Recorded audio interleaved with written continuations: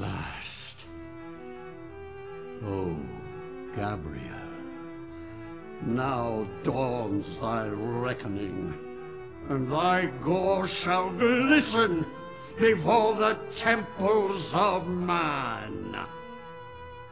Creature of steel, my gratitude upon thee for my freedom. But the crimes thy kind have committed against humanity are not forgotten. And thy punishment is death.